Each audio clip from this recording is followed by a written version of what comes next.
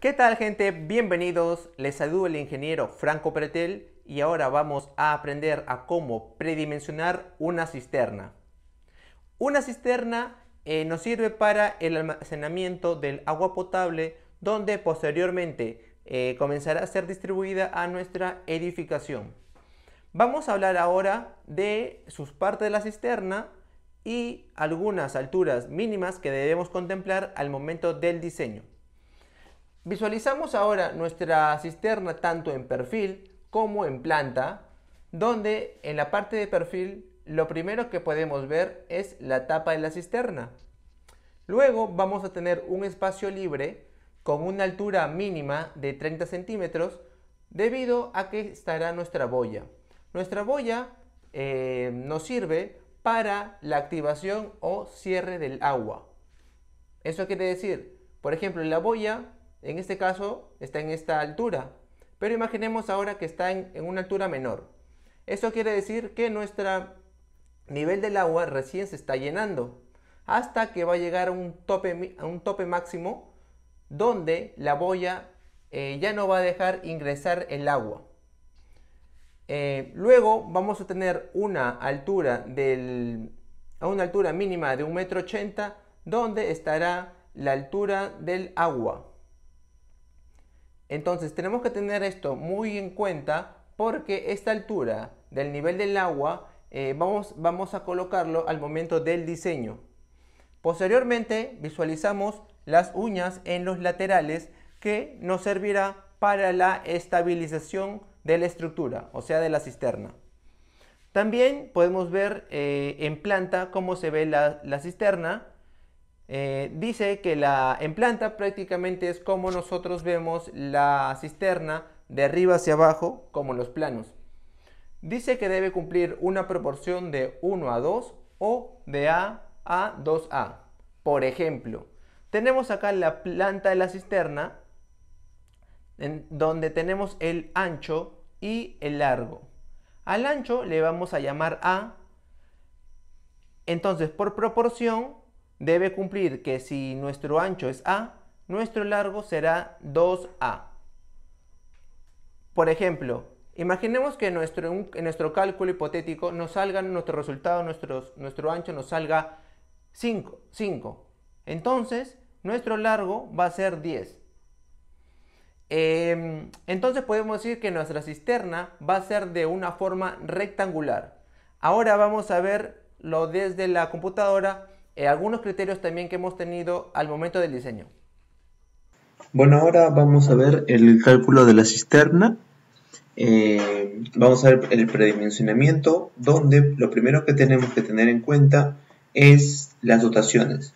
Las dotaciones son el consumo diario que va a tener nuestro establecimiento. En este caso nosotros tenemos un establecimiento que será de uso comercial, que será un lubricentro, donde tenemos en el plano de distribución, eh, por ejemplo, la oficina, tenemos los baños, el centro de lavado, y tenemos uno, dos y tres elevadores y un inyante y desenyante. Entonces, nosotros lo primero que vamos a hacer es eh, dividir por ambientes.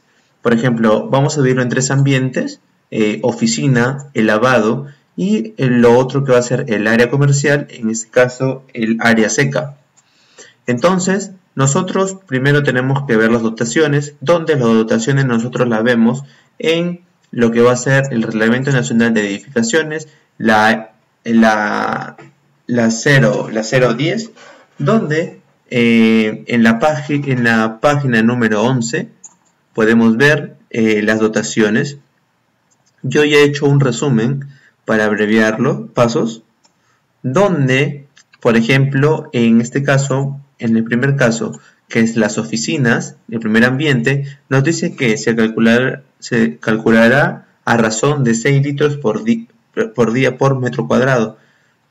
En este caso vamos a multiplicar el, metro cuadrado por 6, ¿no? Luego, la dotación de agua de, los locales comerciales eh, dedicados al comercio de mecánicas secas será de 6 litros por metro cuadrado. En este caso, como les dije, este va a ser nuestra área seca. Nuestra área seca. Eh, Vamos a sacar el metro cuadrado y multiplicarlos por 6 para sacar la cantidad de litros. Y luego vamos a tener la zona de lavados. Nos dice la dotación de agua para estacionamientos de servicio que los lavados automáticos y los lavados no automáticos.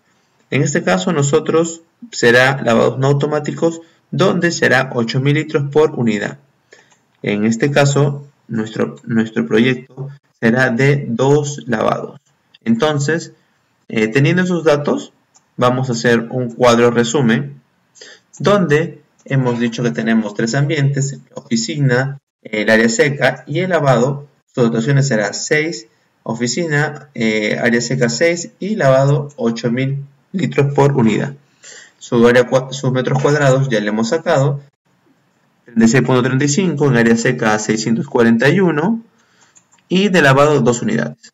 En oficina tenemos litros totales 218.10 eh, en área seca, será la multiplicación de 6 por 6 por 641.56, donde tenemos resultados de 3.849.36. Y para el lavado, que ya tenemos nuestra dotación de 8.000 litros por unidad, en este caso tenemos dos unidades, entonces serían 16.000. Haciendo la sumatoria de todos nuestros ambientes, tenemos un total de 20.067.46. Pero nosotros, como somos ingenieros o queremos hacer una proyección a largo plazo, entonces nosotros, estos litros, vamos a hacer una proyección a dos días. Debido a que, por ejemplo, imaginemos que este es nuestro, nuestro, nuestro local y van a hacer mantenimiento en toda, va a ser, por ejemplo, Sedalí va a hacer mantenimiento a toda nuestra agua. Entonces no nos podemos quedar sin agua en el local. Es por eso que hacemos una reserva, de los cuales nosotros vamos a, hacer para dos días. Entonces ya no serían 20.000 litros, ahora van a ser 40.000 litros aproximadamente de 40.000 litros de agua. Como vamos a tener nuestro volumen de cisterna, nos dice que vamos a contemplar que van a ser para el volumen de cisterna 3 cuartos de la dotación diaria.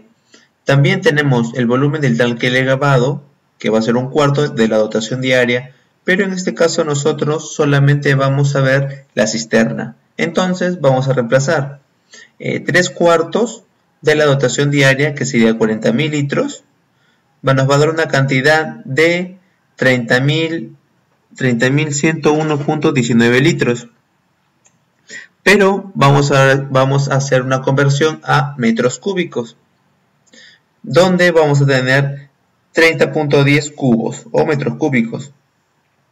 Eh, al, inicio del video les comenté que íbamos a tener ciertos parámetros al momento del diseño, donde uno de ellos era la altura de la cisterna, que iba a ser de 1,80 m el nivel del agua. El otro parámetro también dijimos que iba, a cumplir la proporción de A y 2A o 1 y 2, donde ahora vamos a, reemplazarlos.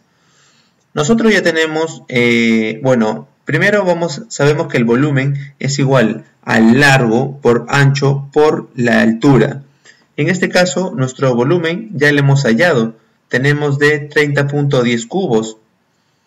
Nuestro largo es 2A y nuestro ancho va a ser A y nuestra altura ya es conocida de 1,80 m.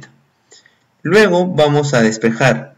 Por ejemplo, 30.10 es igual a 2 por A al cuadrado por 1,80 m, donde luego 1,80 m pasará a dividir a 30.10, donde nos dará 16.72 es igual a 2 por A al cuadrado. Luego el 2 va a dividir a 16.72, donde nos tendremos un valor de 8.36 es igual a 2, a 2 al cuadrado, donde va a pasar a la raíz cuadrada de 8.36, donde tenemos un valor del A sería 2.89.